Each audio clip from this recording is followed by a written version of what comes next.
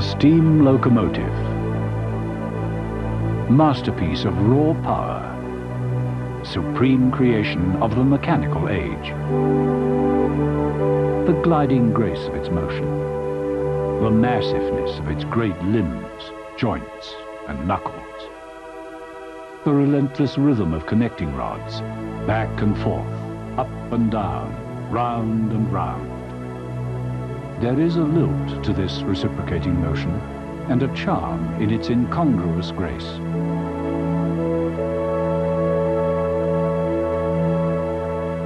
The steam locomotive was one of the great mechanical marvels of the 19th century, a beast of steel with a soul of fire. And from the union of fire and water comes the power to blast 2,000 tons of train into action.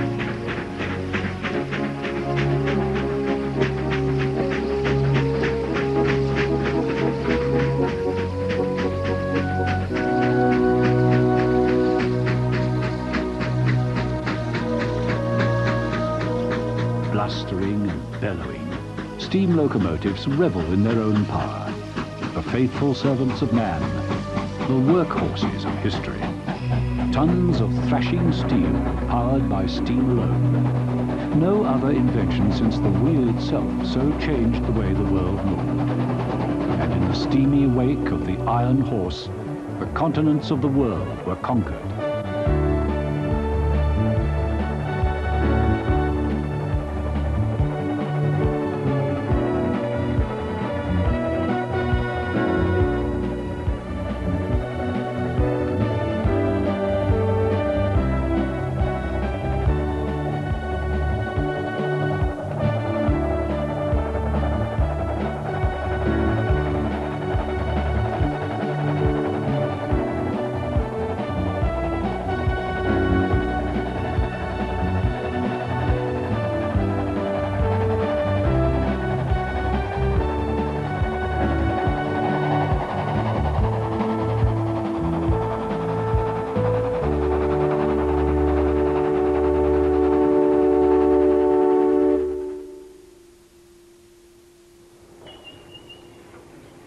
South Africa, an arid, sprawling, thinly settled country.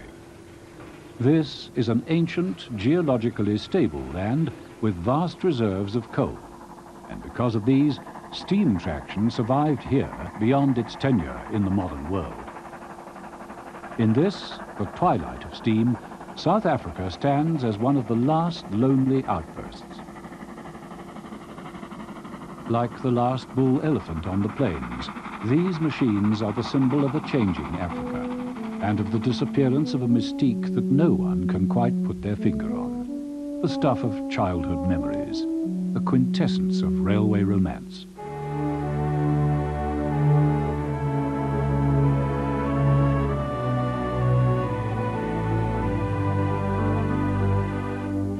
The steam locomotive is one of the few machines where a physical and emotional rapport with man really counts. But they are fast disappearing, and with them, the special breed of person who cares for them. This is the end of a way of life, and the end of a distinct and incomparably romantic period of railway history.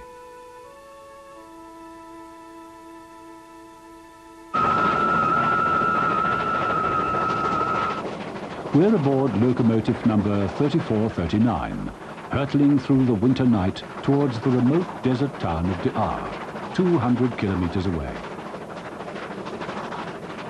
We're riding part of the main line between Johannesburg and Cape Town, a highway of steel that connects the far-flung towns and lonely villages of the Great Karoo. Roaring along at 90 kilometers an hour, the ear-splitting blast of the exhaust is the exuberant music of power, the sound of 3,000 horsepower pulling 1,200 tons of train.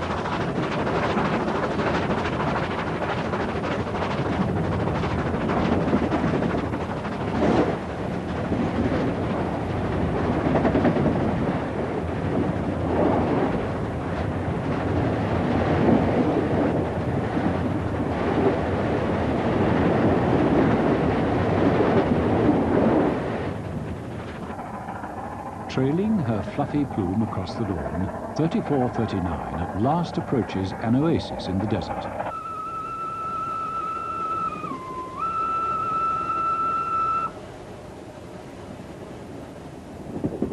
This is the Orange River, and at the little station just beyond it, she will stop to revive her fire and quench her thirst.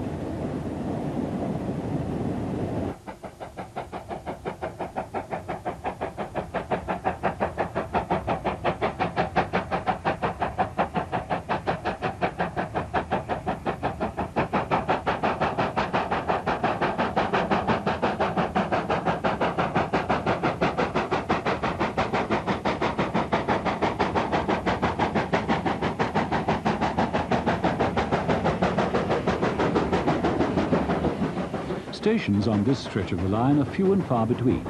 Tiny nodes on the main stem of a great commercial route.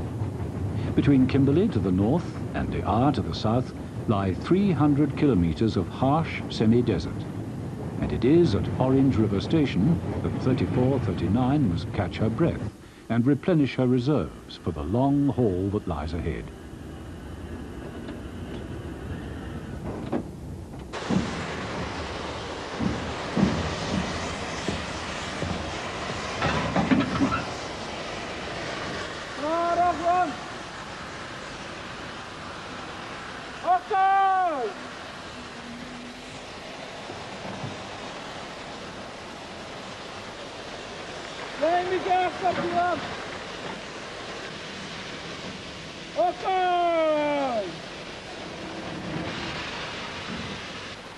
Since leaving Kimberley, 35,000 litres of water have been turned to steam in 3439's massive boiler. Her huge firebox has devoured over five tons of coal since the journey began, much of it not properly digested. These clogging masses of clinker block the all-important draft that fans the fire. They are the product of impurities in South Africa's low-grade coal. Ministering to these engines is a workaday ritual, an inescapable discipline, the daily grind of the steam age. We may find these postscripts to the Industrial Revolution picturesque, but for the engine and her crew, some hard work lies ahead. 40 kilometers of uphill slogging.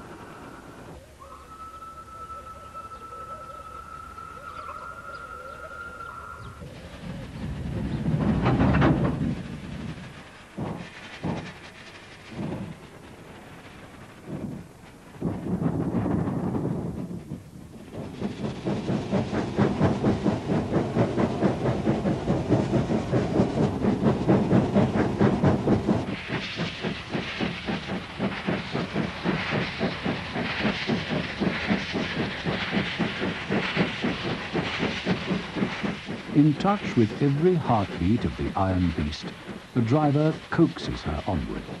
Her bright exhaust hangs over the hard-won miles of scrub as Orange River Station recedes into the massive aloofness of the African veldt.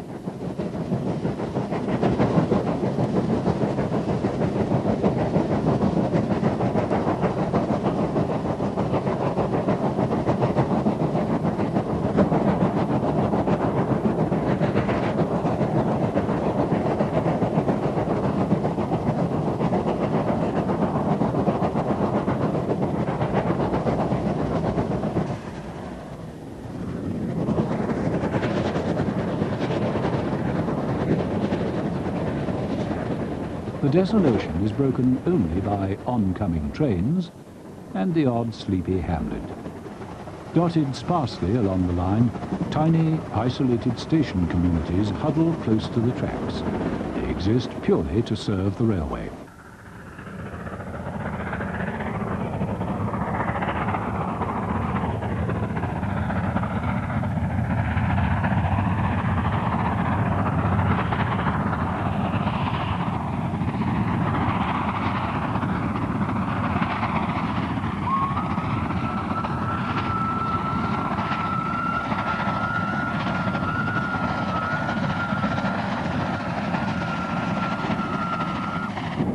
With its vast overland distances, the African subcontinent has always depended upon the kind of long-haul transport that only the railway can provide. Not so long ago, no less than 80 steam trains a day plied this route.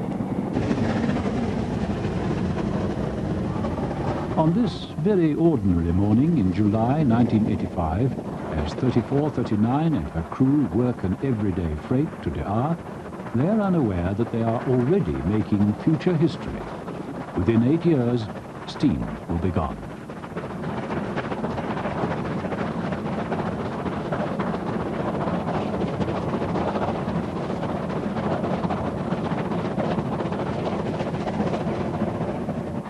But for now, the driver has 1,200 tons in the palm of his hand. He and his firemen ride the iron horse up yet another long, exacting climb.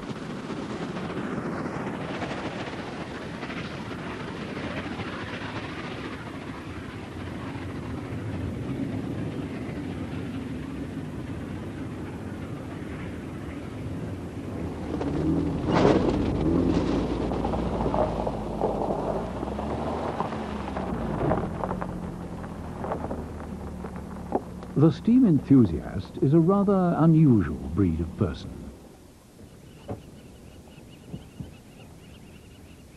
He is usually male, has a wide territorial range, is cunning and relentless in his search for prey, and may be encountered foraging singly or hunting in small groups with other adult males.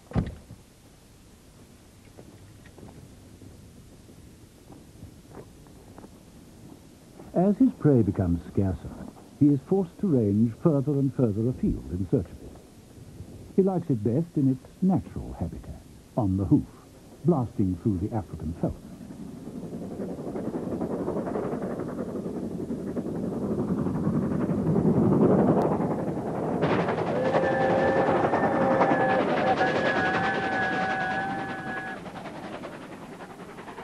He is obsessed with the moment of capture, and the more elusive his prey, the more acute his desire. He will employ sophisticated technology and spare no expense in pursuit of it.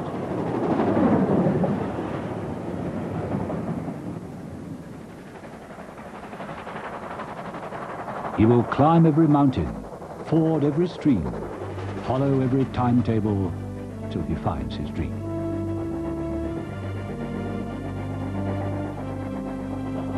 And his dream is the perfect shot.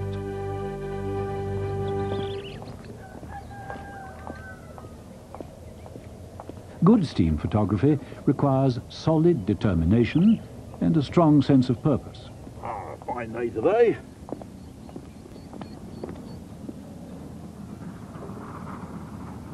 When the location is right, the light is right, the timing is right, then there is a sense of complete satisfaction.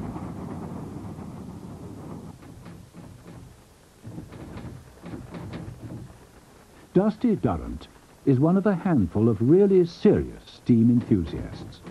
One could call him a professional enthusiast. He's written countless books and photographed steam in every corner of the world. He's a tireless crusader for the cause. Cheers. His house, in his own words, is a temple of steam. Here's the steam. Like many people who feel powerfully, yet unaccountably moved by something, he can't explain why. It's something which I've had from a small boy for no reason at all. I became fascinated with steam locomotives, and I really don't know why. None of my family were interested in steam or engineering or anything like that, and it just came out of the blue.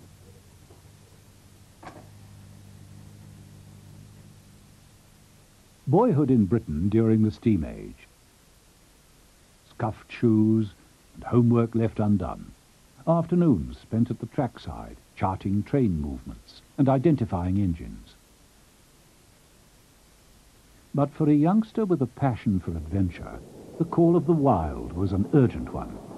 Like many English romantics of his generation, a hankering for wilderness took him to Africa, a land of vast plains and untamed steam locomotives.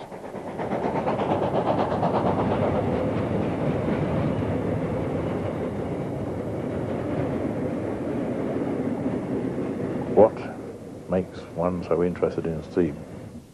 To many people, steam is a romantic thing. To some, it's a case of nostalgia. The older people who remember the steam trains of their boyhood, to them it's nostalgic. But for youngsters today, there must be something more to it. Part of this is the spectacle of it. The steam train is something very much alive. It's elemental. It's fire, steel, water.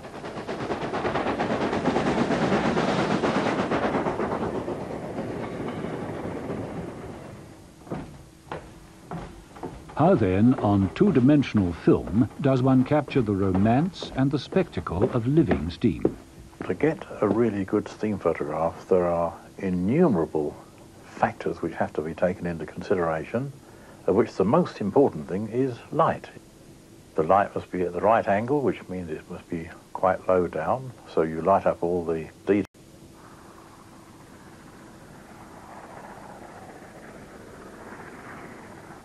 The train itself has to be working hard uphill with lots of black smoke or white steam, and the background should preferably be some sort of scenery or completely plain.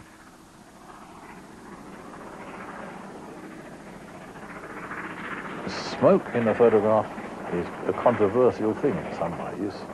A good steam locomotive, well handled, shouldn't make smoke.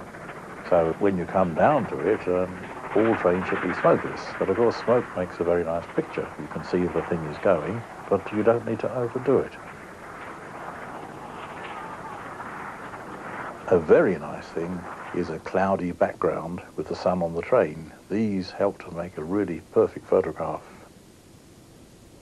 I think the absolute master photograph probably has a bigger degree of luck in it than the ordinary good ones. The ordinary good ones can be planned and be got, but the master photograph is very much a matter of luck, I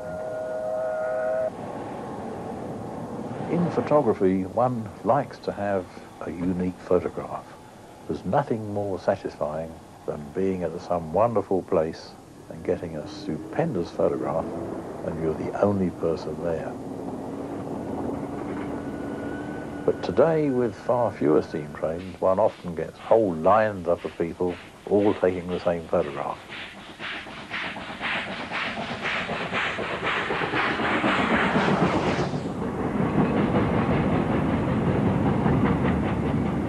Whatever you do, you are trying for something better than you've done before. Even if it's a photograph you've taken a dozen times before, it has never been perfect, and you always hope that the next one will be the perfect shot. If it isn't, then you go again and try again.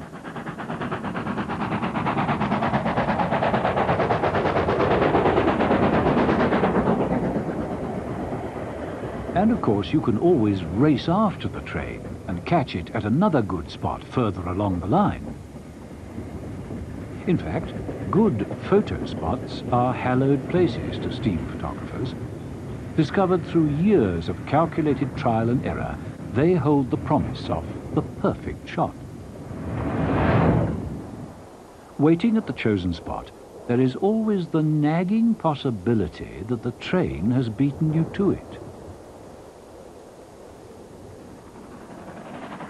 Reassuring sight of smoke on the horizon relieves the tension and lifts the sagging spirits.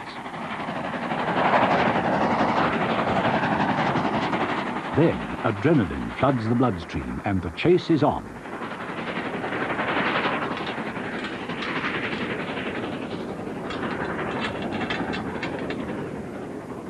There's a wonderful location further down the line.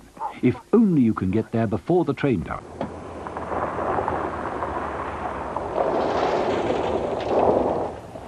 All along the rail side, dedicated enthusiasts face the hazards of the chase, not the least of which is the dreaded South African barbed wire fence.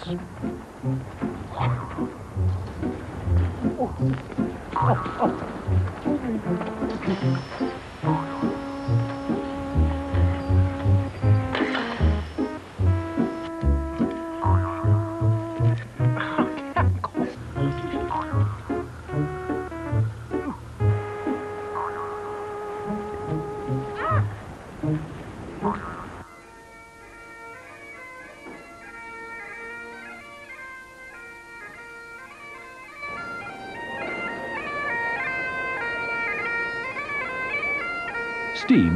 Disappearing, and in the wake of any passing reality come imitations of the original. We love to dress up and reenact history. Everyday working steam has gone. In an attempt to recapture it, we lay on nostalgic steam specials. The locomotives chosen for these specials are the creme de la creme. For this summer evening's outing, number 3454 has preened herself to perfection. She is fast, powerful, and very glamorous.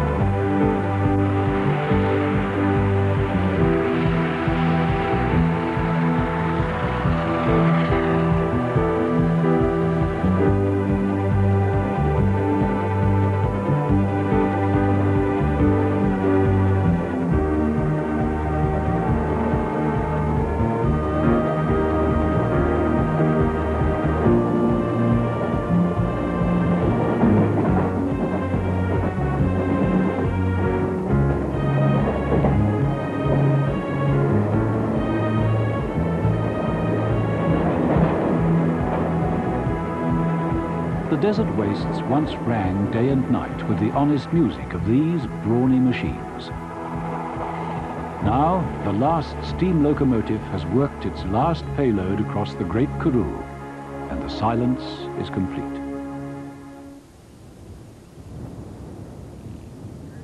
The word Karoo, in Hottentot, means place of dryness. The buffeting winds are hot and gritty.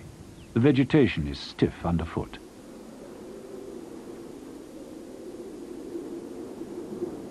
In summer, disembodied mountains float dreamily above a burning earth. Distant trains emerge from the haze like ghosts.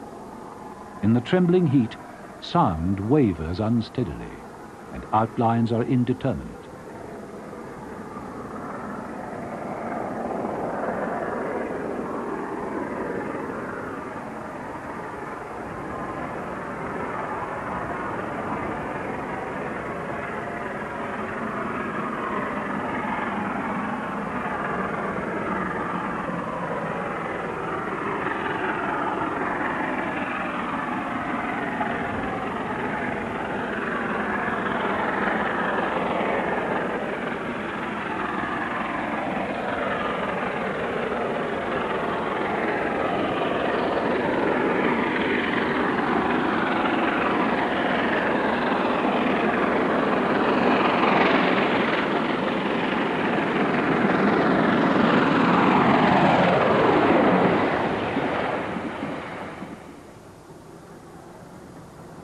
Locomotives working in this unforgiving land need both strength and stamina.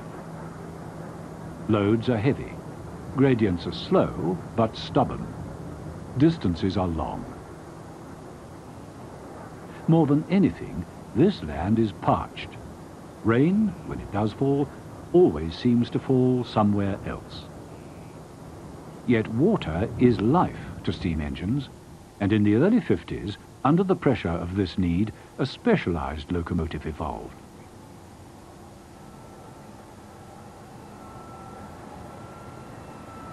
Through the silence comes a haunting whine, the signature tune of a strange machine. This is the true ship of the desert, a locomotive that can travel 1,100 kilometers without taking fresh water. She achieves this impressive range by condensing her own steam back into water.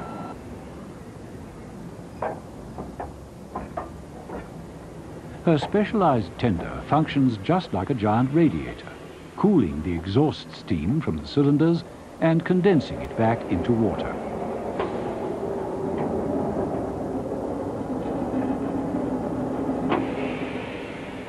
On the roof of the tender, five massive fans suck great volumes of cool air through this radiator. There, the steam is cooled by the airflow and the condensed water is run off into tanks to be reused as required. But the water-saving sophistication of these engines came at the price of frequent and costly maintenance. The complexities of the condensing apparatus undermined one of the great strengths of the steam locomotive, its inherent simplicity. Over the next three decades, the condensing locomotives were converted to ordinary free steamers. Their tenders were converted to mere water tanks, and, stripped of their dignity, they were given the nickname sausage dogs.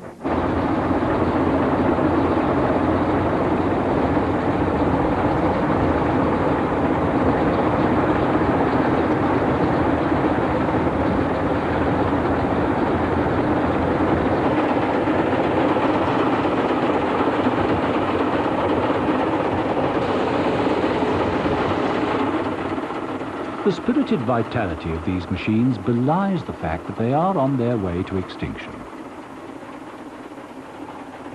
A last attempt to save them as an economically viable form of motive power for South Africa was made in the early 80s, when a host of special refinements was added to the basic design. The prototype, affectionately known as the Red Devil, was bred for power, speed and fuel efficiency. In short, for performance.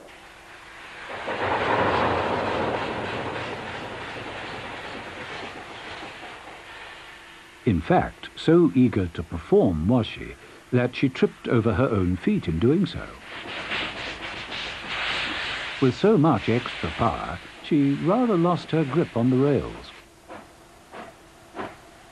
She wasn't at her best slipping and sliding out of a station, but once let loose on the open road, she was a stunning performer.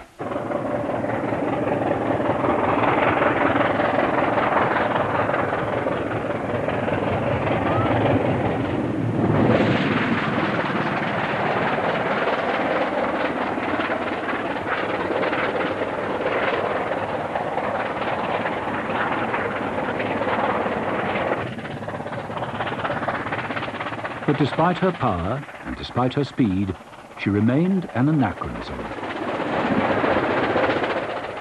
In the annals of steam history, she is now nothing more than a tantalizing symbol of what might have been. And the railway management of the day had indeed already invested heavily in diesels.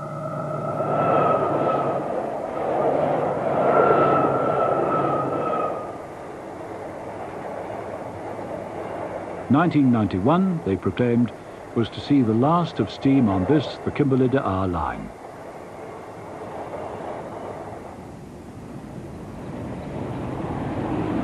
There was instant, angry clamour from steam lovers worldwide, in response to which a placatory steam festival was staged. The steam locomotives put on their Sunday best, snatched the available traffic from the diesels, and gave a week-long curtain call. Skeptics say that steam specials are monuments to extinction, that preserved engine species, no longer viable in their natural habitats, are exported to exotic locations like so many animals to a zoo. There was certainly a parade of body types, from short-legged, stubby little freight engines to long-legged lopers designed to haul crack passenger trains at high speeds.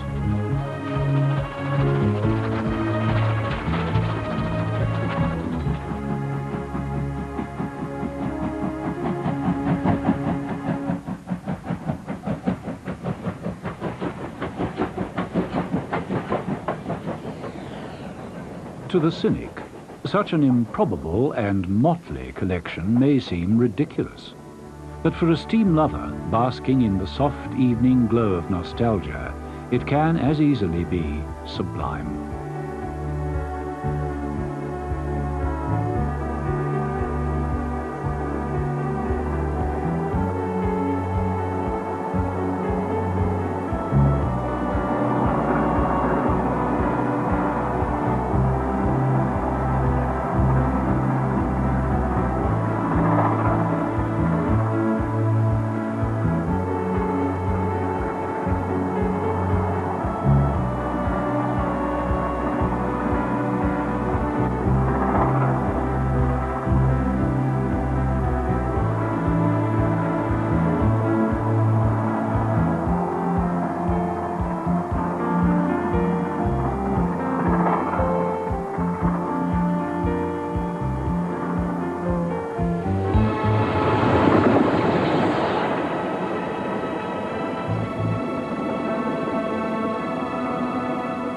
Essence, the life, the exuberance of real, working steam is an elusive entity that resists being dished up on a plate.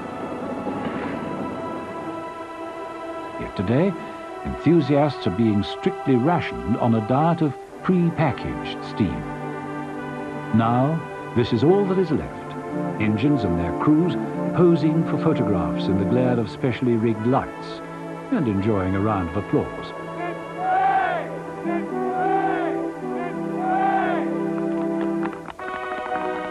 For those wanting to lay their appreciative hands on the beast itself, a good steam festival provides even that opportunity. For a fee, you can drive your own steam locomotive. I'm Patrick. Oh, I'm Irv Hirsch from the USA. Glad to meet you. Meet you. Take a seat. Alrighty. Thank you. Can I explain to you? Yeah. This is your reverser. Alright. That's to go forward. That's to go back.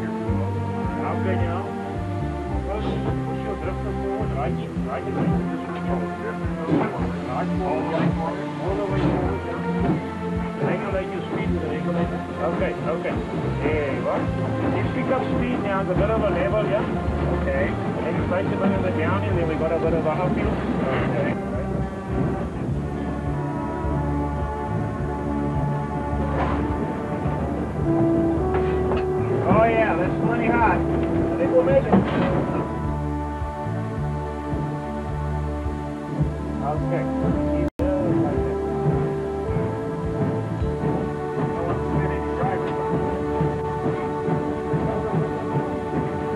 Oh, this is great. This is the greatest. I've been to South Africa three times. This is this is the best. Getting to drive your own locomotive. You can't get better than that.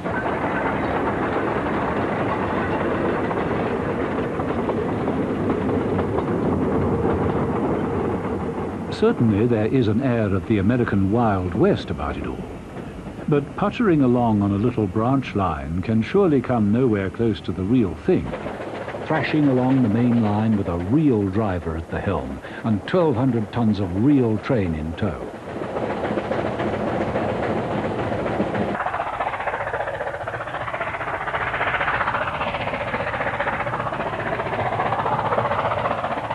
Villiers is a retired driver now, but he relives the good old days as though they were yesterday. Oeh, dan kom je nou daar aan en as jy om die brug gaan, dan koor jy die stokke en as die stokke reg is, dan stel jy hom op vir hy bank nou. Dan gaan jy so 90 daar deur en dan vat jy hom as jy daar voor uit gaan, dan sit so 110, 120. Dan, dan, dan gaat het net soos een motorbike.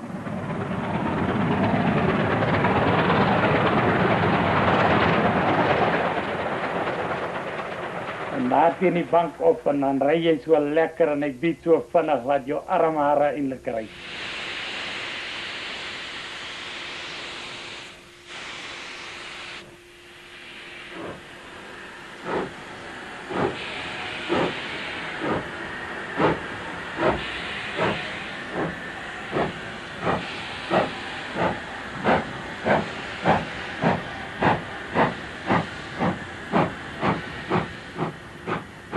There are people who love steam engines so much that they have dedicated their entire lives to working on them.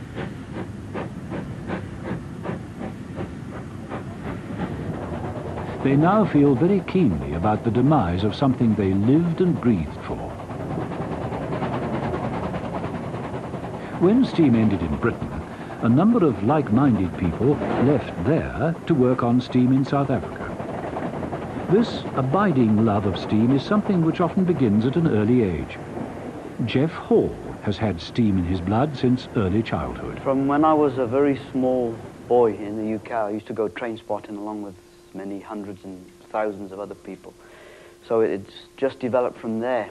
Uh, I just got fascinated by a steam locomotive. To see one thundering through a station or on a main line, it just gave me a, a thrill I, I, I couldn't really get from anything else. I don't know what it was, and then it sort of just got into my blood, and, and from that that time onwards, I've I've just been hooked, hooked on steam. Jeff arrived in South Africa in 1973. and has enjoyed every working minute. This is more than just a job, it's a way of life. It's tough and it's dirty, and Jeff wouldn't change it for the world.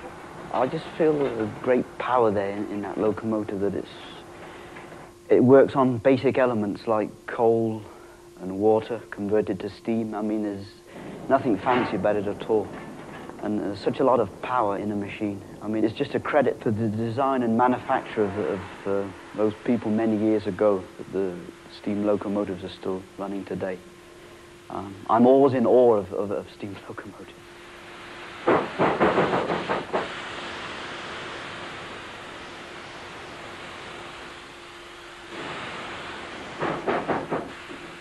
This line in particular, Kimberley De Aar, it's got magic properties, especially running through the Karoo there. You're alone there on, on that great iron beast. There's nothing quite like it. I can't imagine myself doing any other sort of job. And steam finally goes, if it ever does, I, I don't know what's going to happen.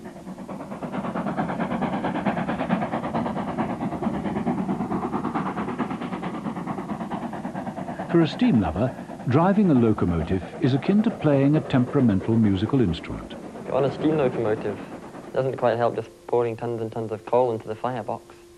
If making tons of black smoke, that just won't help. You've got to know exactly how much to put in and how little and where to put it and be able to read your fire and things like that and to keep the steam at the red mark if you can. Well, people think of the mechanical stoker just rolling the coal into the fire and the train goes, but not quite like that. You've got all different jets you've got to control it so it gives an even fire on your grate. White and bright, as they say. Richard Niven has been happily getting his hands dirty as a fireman since he was 23.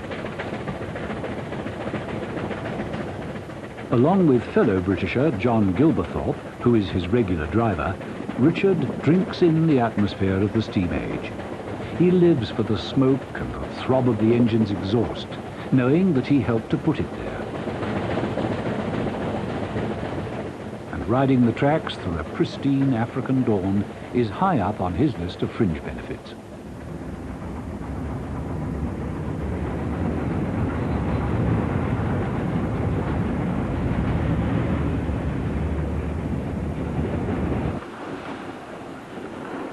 After hours of bucking and swaying, there is yet more work to do, preparing the engine for the return trip.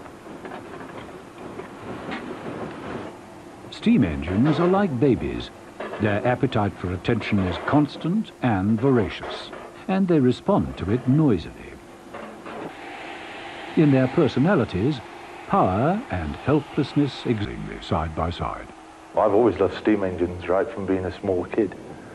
and uh, I always wanted to work on them, but I didn't have the opportunity in Britain. And so I thought, well, I'll come to South Africa and have a go on them. It's the last place in the world where I could really get a job on them. These men are perhaps the most satisfied enthusiasts of all. They've had much more than just the vicarious pleasure of photographs. They have actually inhabited the world that so vividly fires the imagination of others. The power and the, the appearance, the sound, the whole aura about them, I think. Everything that goes with them. It just sort of breeds atmosphere. It never fails to appeal to me. I'm always leaning out of the engine, listening to her, how she's performing. You can see the clouds of smoke and steam rolling behind. It looks terrific. It sounds terrific as well.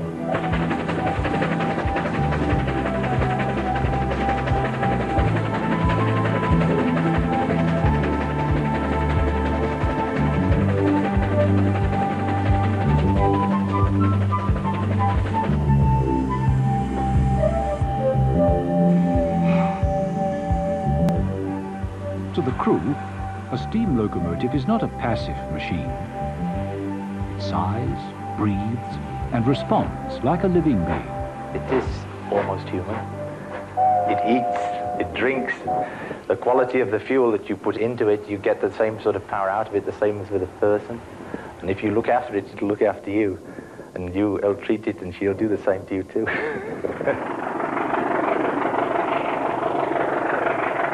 To John and his colleagues, the steam locomotive is queen of her domain. The very notion of her abdication in favour of a lowly diesel is enough to leave anyone utterly speechless. Ek, eh, dit, is, dit is, eh, ek kan het nie eh, vat nie. Ek kan het nie beleef nie.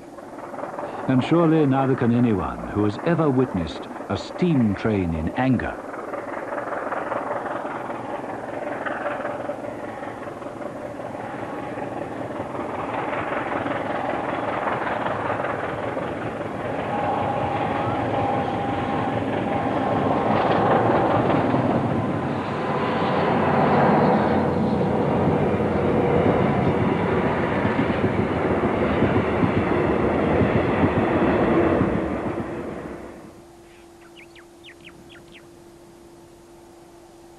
The Karoo, a sea of grand desolation. Slicing through it, lost in the vastness, runs the Kimberley de Aar line, once a great theatre of steam. Signs of humanity here are few. Railway, the odd farmhouse, the occasional road. Now and then, such a road may lead to one of the line-side villages that minister to the railway. This road leads to the village of Witput and to its delightful hotel. In the heyday of steam, these little railway guest houses were havens for enthusiasts. Like moths to a flame, they came from all over the world.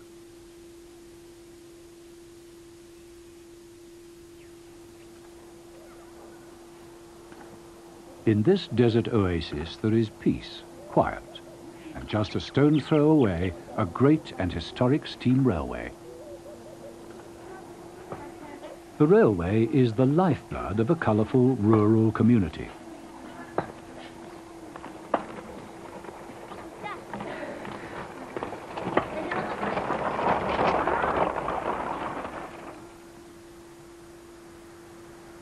As a long, hot Saturday draws to a close, the tiny community of Witput comes to life in a celebration of just being.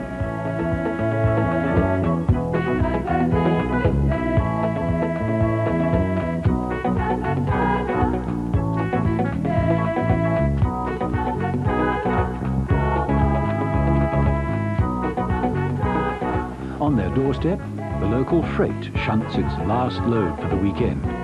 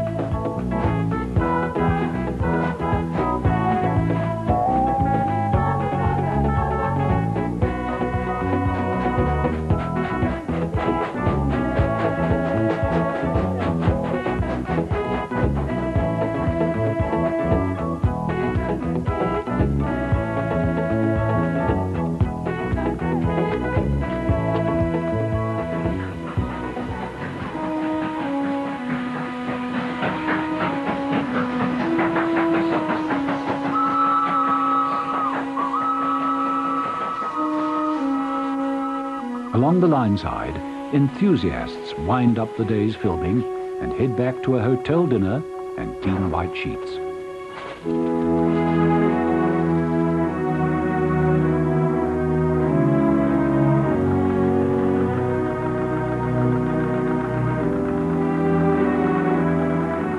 The hotel generator throbs into life.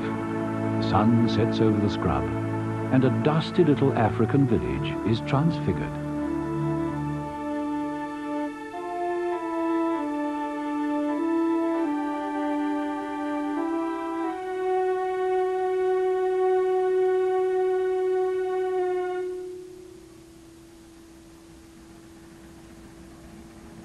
Out of the dusk comes a familiar sound, waxing and waning on the breeze.